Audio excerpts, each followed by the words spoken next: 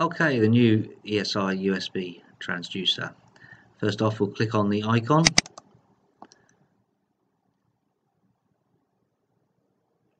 And you see a new splash screen telling you it's suitable for use with the GD4200 and the GS4200 USB. Okay, you're greeted by the monitor screen. It says there's no sensors connected. I haven't connected any yet. So we'll just connect the first sensor and it says new device has been attached. So we'll run find sensors. Okay so it's found one sensor. We'll have a look at the manage screen just have a look at that sensor. It shows you the serial number. It shows you it's a fast sensor. It's one of the new GD4200s okay.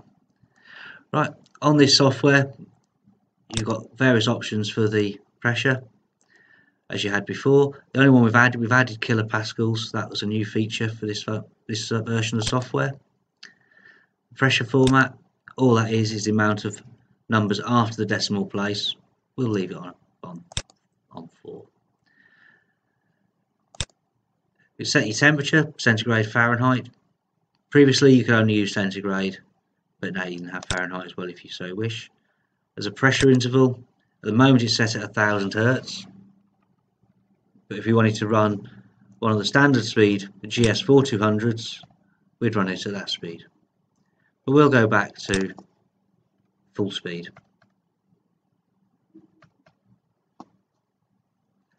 And we can have a temperature interval as well. Temperature interval at the moment set for one second. Remember that it's not a temperature transducer, the temperature is only there to compensate the pressure. Okay, over here we've got gauge or absolutes as a selector. You can also select all output or just the monitor page. Monitor page means all the changes we've just made that only appear on this page.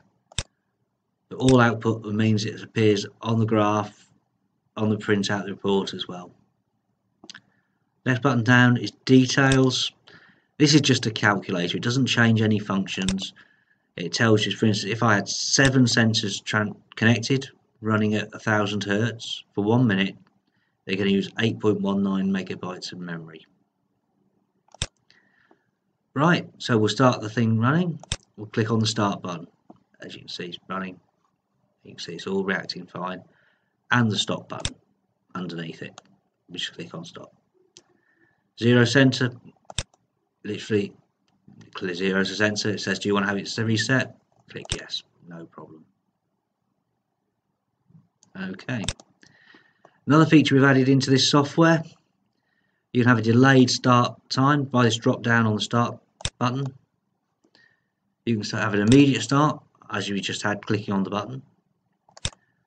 Or you can select a date in the future, day, month, year. You can go years in the future if you so wish. Or you can say, I want to start in 10 minutes. Or 9 minutes. Or 8 minutes. Or seconds, minutes. We'll go for 10 seconds. You can set the stop, manual. Again, click on the stop button. Or the same as with the start, you can set it to set any time in the future. Or we can say we're going to stop after minutes or seconds. What we'll do, we'll go, we'll stop after let's go 15 seconds. And then we click OK and it will start in 10 seconds time. You can see at the bottom of the screen now it's showing the measurement schedule start in 5 4 3 2 1 and it starts recording.